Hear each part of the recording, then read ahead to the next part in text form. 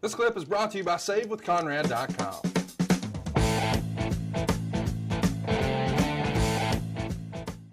Chat me up.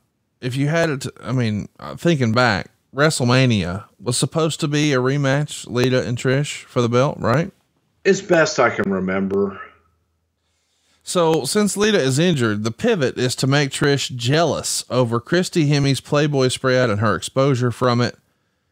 And boy, this didn't age well. Trish is going to attack her and spray paint the word slut across her back.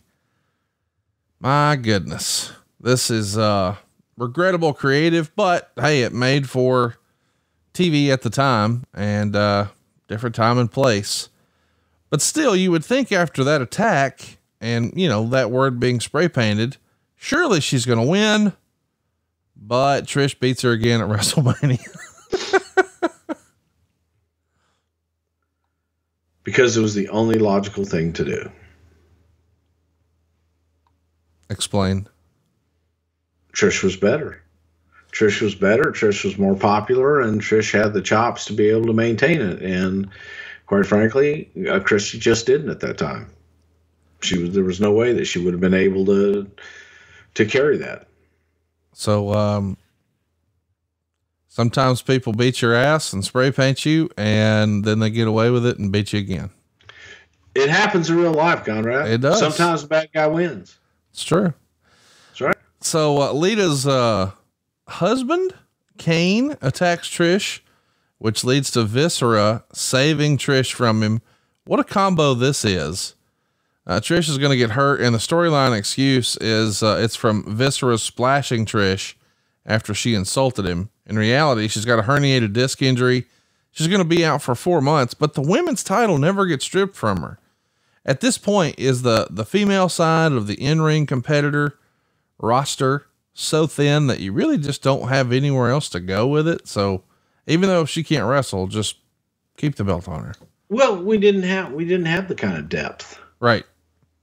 on the women's side, so it, it just uh, it's like okay, you can strip strip her of the championship, but then what do you have? And unfortunately, we didn't have a lot of workers and, and the kind of depth and the athletes that came along later.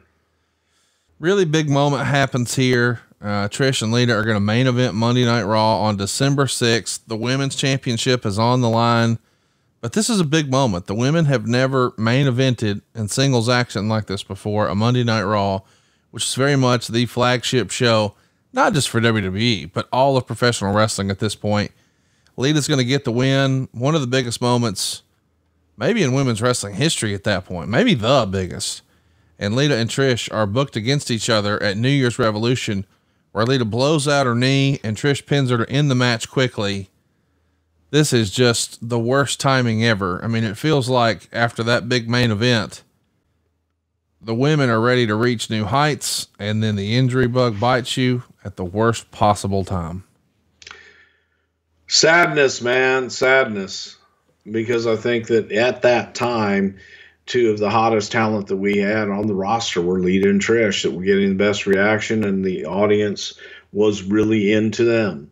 So it, it was just horrible timing, and you feel bad for the talent. You feel bad for everything going into it because, you know, you're looking at the future, and now you take 50% of that attraction away, and, and it hurts. Hey, hey, it's Conrad Thompson. Thanks for checking out the podcast here on YouTube. Be sure to hit the subscribe button and the notifications bell so you get a notice anytime we upload some new content. And go save yourself some money right now. If you're in a 30 year loan or you have credit card debt, it's not a matter of if I can save you money, it's a matter of how much. Find out right now for free at SaveWithConrad.com.